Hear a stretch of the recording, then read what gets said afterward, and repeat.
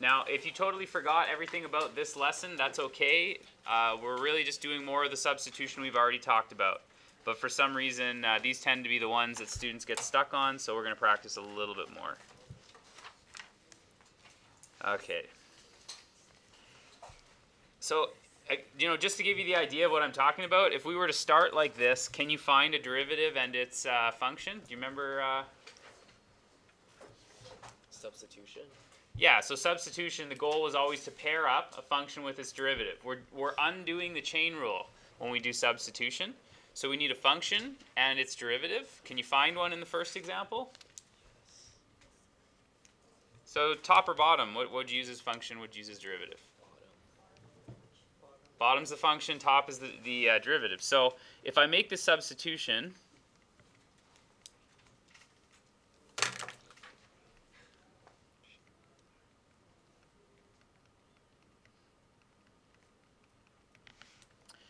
then um, du is 3x squared plus 1 dx. So I can make that change right there. It's all ready to make the change. So this will become the integral for 1 over u du. And 1 over u, hopefully you recognize that. That'll be natural log of um, absolute value u plus a constant.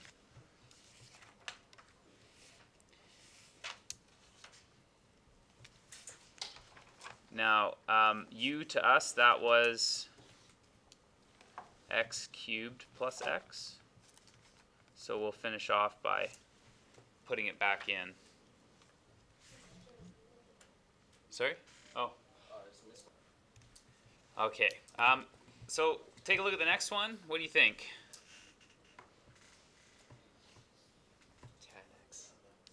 tan x, okay? So in this case, the pattern, the only difference here that you're seeing is you're going to have the derivative on the top and the function on the bottom, and then you could go directly like this. So again, if you totally don't, you know, if nothing's stuck in this lesson, you're doing the substitution that we did from the previous lessons that we worked on. But the goal here is for you to recognize that you can make a quick one and see that natural log is what you're looking for. So here, I can see that's the derivative, that's the function. So this is just going to become the natural log of tan x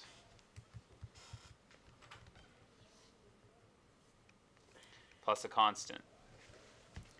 If you took the derivative, it'd be 1 over tan x times the derivative of tan x, which is secant squared x. Okay, so when you get to these next ones, you remember what's what we did to get around the sort of little problem we have now? Uh, three outside.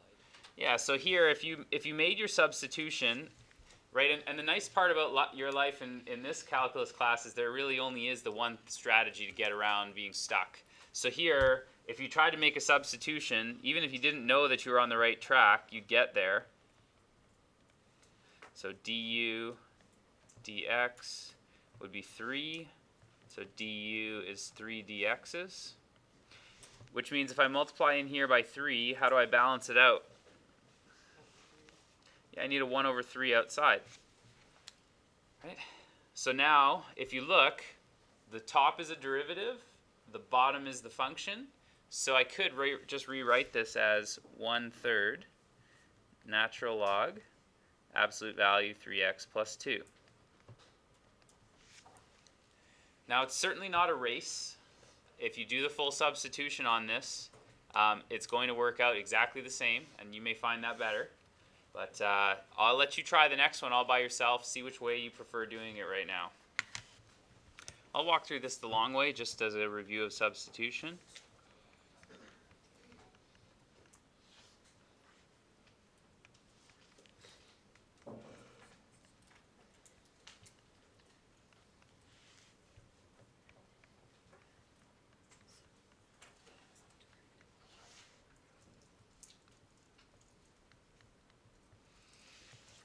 Okay, so now what I need to do in order to get the rest of this through, I'll make my substitution. So I'll have 1 half the integral of 1 over u du. So that'll be 1 half the natural log of u plus a constant.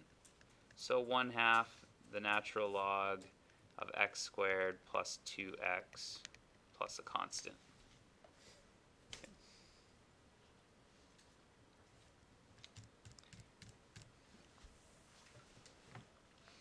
Now, um, in this case, I'll show you a couple other ways that you might uh, use a bit of creativity to, to figure out what your antiderivative is. And that's uh, something similar to what we've talked about when you have a, a denominator, like splitting it into different fractions. But in, in its current form, you can't really pair them up. I don't, in this example here, I don't see a function and a derivative. But what I can try and do is separate those fractions. And one way I could go about it is with long division, which is uh, probably something you haven't done for a little while, but uh, I'll jog your memory here. If I have x squared plus x plus 1, and I'm going to divide it into x squared plus 1, does this vaguely look familiar? Ah, yes. And I bet it was horrible, awful, and boring then too. So the trick is you line up the most significant digits. So x squared to x squared, that means all I would need is a 1 to make them the same if I multiplied it by 1. So one group of x squared plus 1 would look like this. And when I subtract it, what I'll have, x squared minus x squared is gone.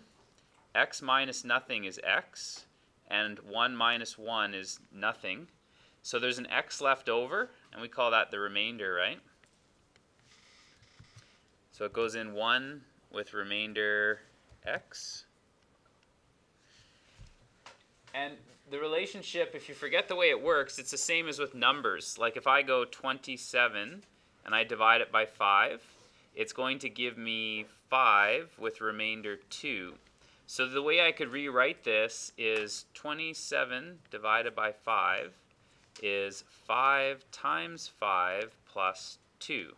Five groups of 5, 5 whole groups, and 2 left over. So that's the way I'll rewrite this one here, is x squared plus x plus 1 divided by x squared plus 1. I get one whole group plus um, a remainder of x. So this will be So the connection, um, I guess perhaps I could put another step in here. Some of you I think could see it, but some of you might not, so let me move this. You'd have, um, this would be 27 divided by 5 and 5 plus 2 out of 5. So if I multiplied through by, that's what it was. If I multiplied everybody here by 5, then I get this thing back here. There's a couple ways, but anyways, this is the one we're using in, uh, in uh, our question to rewrite it. And that's the one I'm going to do my integral on. So I'll rewrite it here.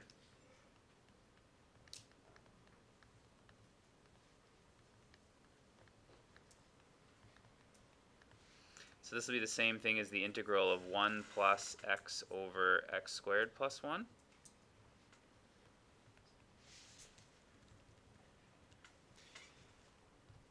And now I can see a, a pair. So I'm going to actually split this one more time.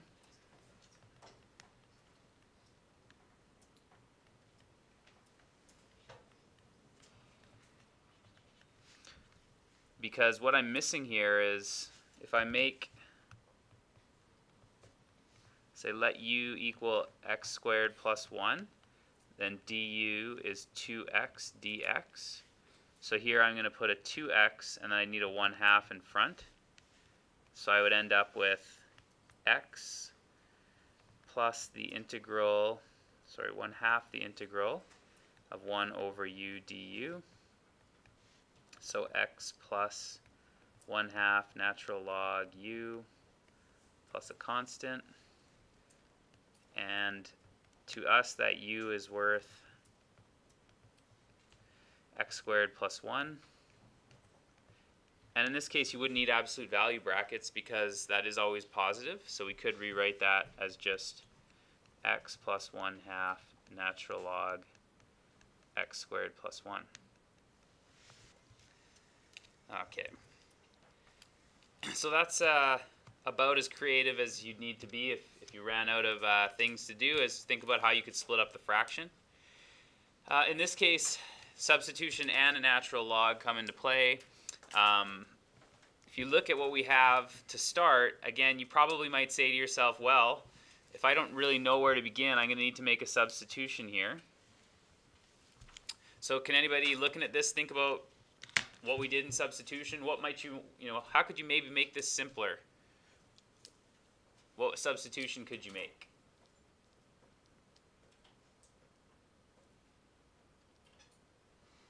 Not everybody at once. Uh, we could expand x plus 1. Uh, however, in this case, I'm not sure that's going to get us farther. Um, well, it probably will. It'll just take us longer. Um, the way we actually have it um, is not bad. It's just nothing. That's okay. Um, let's instead get rid of this x plus 1. And the reason I'm targeting that is if, for me personally, if I have to choose between a monomial and a binomial denominator, I'd always pick the monomial. It's always easier to split up fractions if you got something on the, just one thing on the bottom. So that's why I'm, I'm doing this one here. I'm going to say let u equal x plus 1. And in this case, du is just the same thing as dx. So I can make my substitution here. I'll have 2x over u squared du. But now I have that other x. Do you remember how we handled this before? Yeah, so we can solve for x up here. x is equal to u minus 1 using the same equation that we did before. So then I can make my substitution as 2 times u minus 1 over u squared. So this will be 2u over u squared minus 2. And now the reason again why I prefer that is now I can pull this fraction apart. I still have a fraction, but there's only one thing on the bottom. I can do this and say that's like 2u over u squared.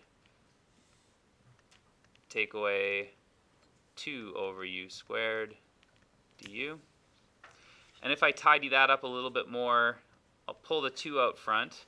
There's 1 on top, 2 on the bottom, so it'll be 1 over u du. And then over here, um, I'll rewrite that as u to the negative 2. All I need is power rule to do that.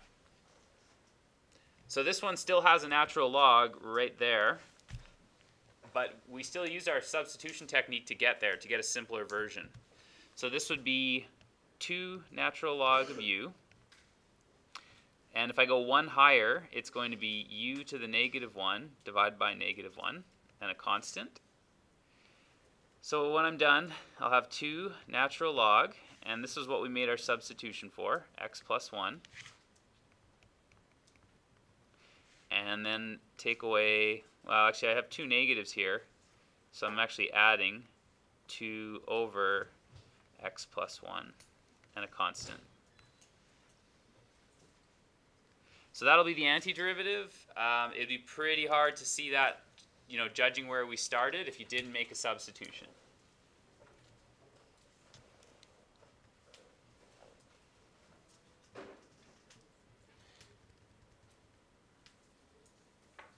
Okay.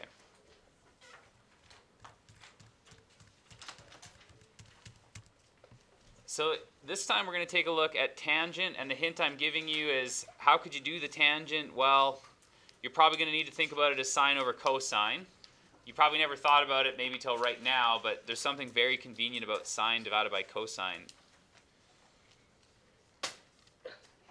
Negative sine.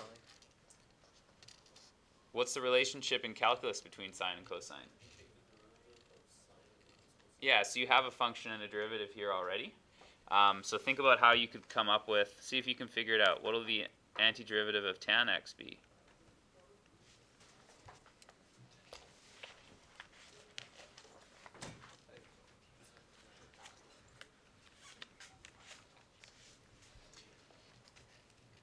All right, so here we have, um, well, the only thing funny about this situation is the derivative of cosine is negative sine, so we could use that pair and the derivative of sine is cosine, we could use that pair. So if you guess wrong here, you have a 50-50 shot. It just means you're going to see pretty quickly. Here's what will happen if you make this substitution. Let u equal sine of x. You don't need to write this part down because this is uh, going to lead us astray. So cos x dx is what I get. And this is not the same thing as what would be left over. Because what I'd have is dx here over cos x, right? That's what would be left. So it's the pieces are there, but they're not the way I need them. So I know I haven't substituted properly because I should get the function times dx, not the function uh, dx divided by the function. So this one, that wasn't the good choice to make here. We'll flip flip that around. Only took about a minute there to get us the way we wanted it to. And substitute for cos x. So I have to introduce a negative to this problem because I need a negative sine x dx. So I'll go negative, negative sine x dx over cos x. And now I can make my substitutions. So this will be the integral of du over u, and that's just natural log u.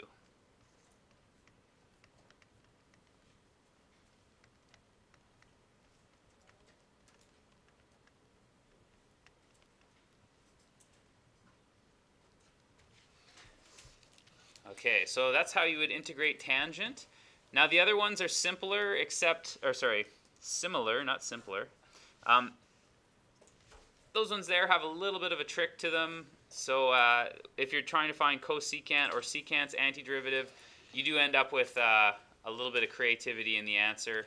But uh, cotangent is almost identical to tangent in terms of finding it. So those six trig uh, functions you do need to know. Uh, these ones, you know, you by now those ones should haunt you in your sleep. You probably know those very well. But uh, the other ones aren't obvious, so you probably need to um, add those to your list of things that uh, should be at the tip of your, your calculus brain. Okay, so now if we want to find the average value for the tangent from 0 to pi over 4, um, we can use what we know about the antiderivative here. It'll be 1 over pi over 4 minus nothing times the integral of tan x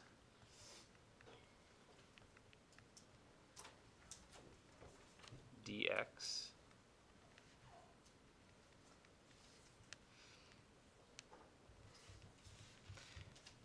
So here we'll have 4 over pi times the integral from 0 to pi over 4 of tan x dx. And we've worked this one out 4 over pi times negative natural log. So we'll be looking at the cosine at pi over 4 and natural log of the cosine at 0. Okay, so cosine of 0, do you remember what that is? Yeah, it's 1. Natural log of 1? Yeah, it's a 0. So there's nothing left in that piece. Um, cosine pi over 4, anybody remember what that is? Square root of 2. Very close. It's going to be 1 over the square root of 2. So I would have 4 over pi, and this will be times negative natural log and 1 over root 2. Now, through the magic of logarithms, I could also call that natural log. If I take the negative inside, it makes this exponent negative 1. So if the exponent is negative 1, that flipped it. So I'm back to root 2. And that exponent, what's the exponent for a square root again? Yeah, 1 half. So I can pull that out front, and I would have 4 over pi times 1 half the natural log of 2. So I don't think I can cut this down anymore. 2 natural log, 2 over pi natural log 2. That would be the uh, average value of tangent from 0 to pi over 4.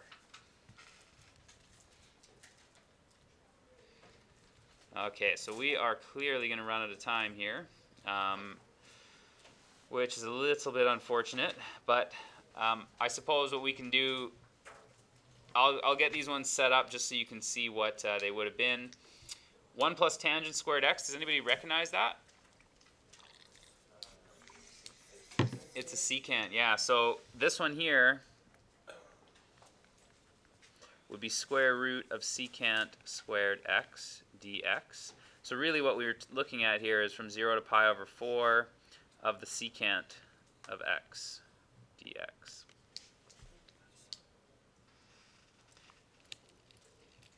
Now, um, the next one looks really scary. However, maybe a small rewrite could help us work it out. 1 over x times 1 over natural log x dx. Does anybody see a function and a derivative now? Yes. Yeah, so there's there's my derivative. There's my function. So I know what substitution I'm going to make. This would be let u equal natural log of x. du is 1 over x dx. And that's what I have here, 1 over x dx. Okay, so I would be able to continue this through with substitution. However, that's a bit of a trick that you would need to maybe get a little prepping on before you see it. So I'll, I'll, uh, I'll hope that those, I mean, at this point, you have secant here, and you should be able to make that substitution. Okay, so we may run out of time here, but uh, let's, let's try and work this out. Um, so solving a differential equation means trying to find the function it began with. And so if this is the derivative, what I'm going to try and do is integrate 2x over x squared minus 9. And in that case, I can see a function and a derivative.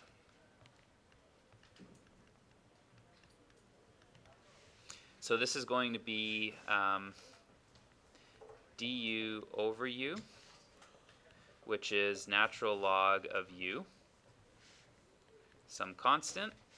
So natural log of x squared minus 9 plus a constant. And this is the solving part uh, that makes a differential equation a little bit different, is we don't know what the constant was. That's where we have to use this information to figure it out. So my antiderivative, I would know the value of my antiderivative is 4 when I use the value of 0 in that function. So that'll tell me here that I've got um, 4 equals natural log of 9 because I take its absolute value plus the constant. So here my constant would be 4 minus natural log of 9. So the actual solution, this is like every possible solution, but because I have this initial information, I know that my function f of x had to be natural log x squared minus 9 plus 4 minus natural log of 9. Okay, so I apologize for having to rush the end of that there, but um, we'll talk more about this a little later.